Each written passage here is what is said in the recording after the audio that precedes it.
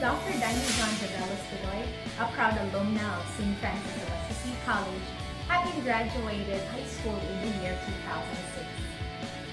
Life after attending St. Francis of Assisi College has been an enormous blessing and has opened a lot of doors of opportunities for me.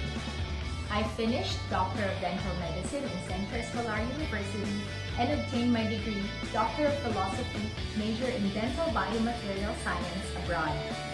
I currently maintain a private practice in Paco, Manila and teach in a graduate school program as well. I am a proud Franciscan, be one of us.